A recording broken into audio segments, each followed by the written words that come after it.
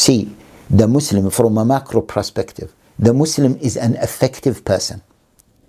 Allah Jalla wa ala called this ummah خير كنتم خير أمة أخرجت للناس what تأمرون بالمعروف وتنهون عن المنكر if we are not effective we are not the best of nations